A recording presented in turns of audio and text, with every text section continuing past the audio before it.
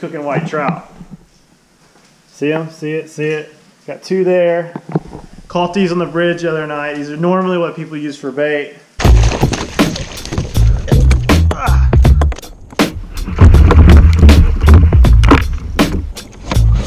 Got you now. That was close. You almost got me.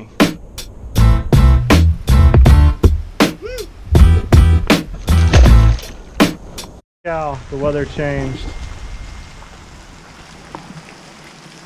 I gotta unhook the trailer from last night. I think the temperature's probably dropped like 20 degrees. I'd say it's like low 40s, mid 40s. I don't know, I'm guessing. Kayak got washed off last night. Oh, nothing got wet. I didn't close it. Kayak's clean, that's for sure. It's raining, so don't judge me. I was in a hurry last night. Got home at like 2.30, 3 o'clock. I didn't get to clean the fish, threw them on ice because I knew this morning, today we were gonna eat them. Basically just threw them on ice and I'm gonna fillet them here in a minute. So anyways, heading to the gym now if I don't freeze to death.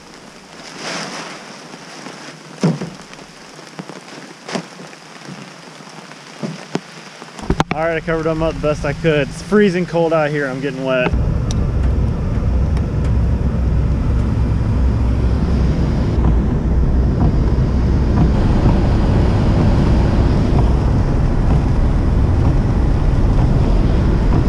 Text from Samantha and she's wanting to back out of the gym. Can't blame her. It's 39 degrees.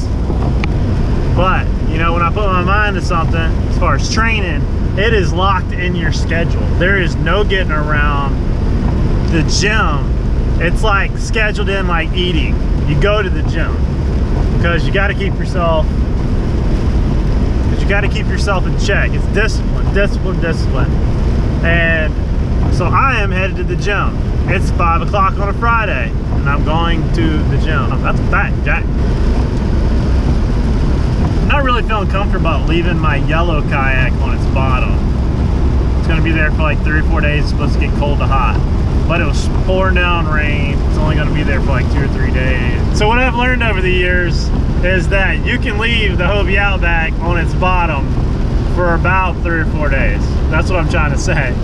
I've left it on its bottom for probably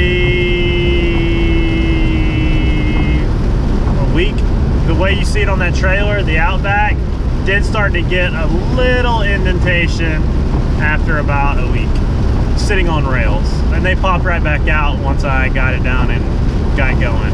So if you're wondering how long you can put a Hobie Outback on its bottom, on a trailer, about a week. As long as there's not weight in it and it's not strapped down. Don't strap them down.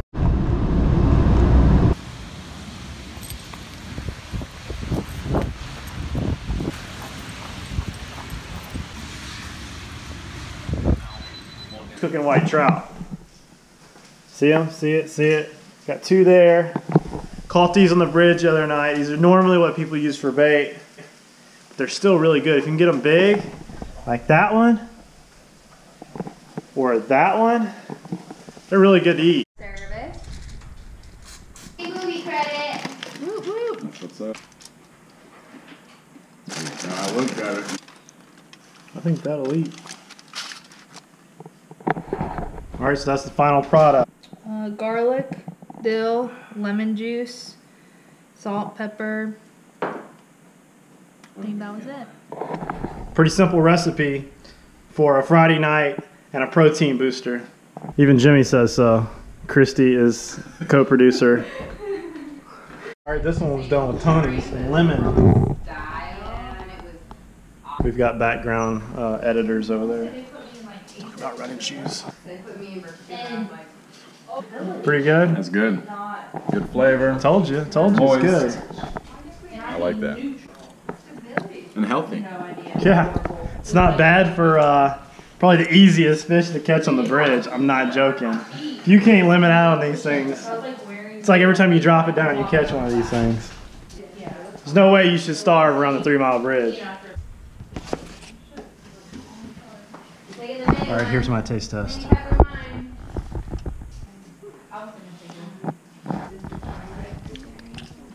It's really good.